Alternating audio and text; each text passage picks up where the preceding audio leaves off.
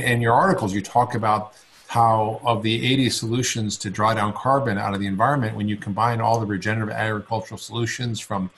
uh, managed grazing to silvopasture, which is inter- in, introducing animals into, for example, trees, like having chickens eat walnuts, or like in Spain, they did it with the black-footed pigs that that make incredibly nutritious and delicious meat that because they're eating the acorns from trees.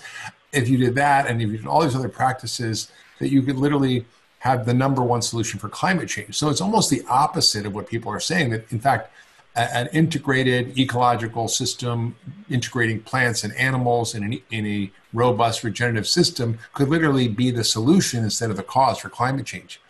absolutely the case and that's where i think the general public needs to to more and more come to discriminate